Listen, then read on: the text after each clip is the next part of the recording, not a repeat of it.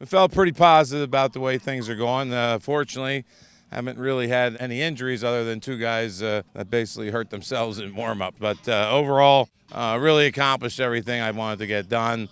Uh, get our young people a lot of work, stay off a lot of contact. Uh, even though we've people have seen practices, they very hard practices, very high tempo, and we get after it some on 11 on 11. But when you don't put shoulder pads on, you're, you're you're laying off the contact. People talk about contact practices being you know tackling and scrimmaging and tackling to the ground. As soon as you put helmets and shoulder pads on, even though you still have gym shorts, uh, that's a contact practice for the inside seven on seven guys, and they're going to be, you know, whacking each other away when you lack the depth as we do.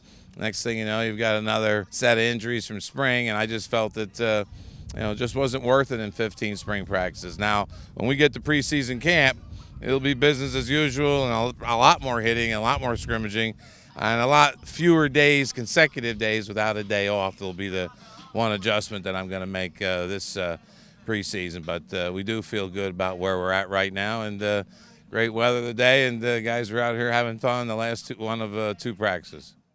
Yeah, we've had a couple of staff changes. We're going to yet have another one. Uh, we had a couple new guys. Joe DiMattia was our operations uh, director, and now he's moved up to that defensive spot, replacing Coach Parker.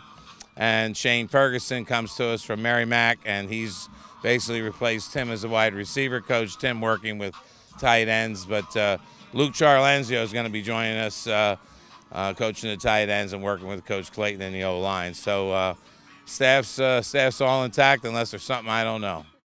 Well, I think some of our young people have really stepped up. The move of uh, C.J. Emil to tailback, I think, is a big move, putting the ball more times in his hands. We tried to you know, identify the playmakers, and we've got a few spread all over the place. Uh, Dylan Wadsworth, just really most athletic tight end I think we've ever had.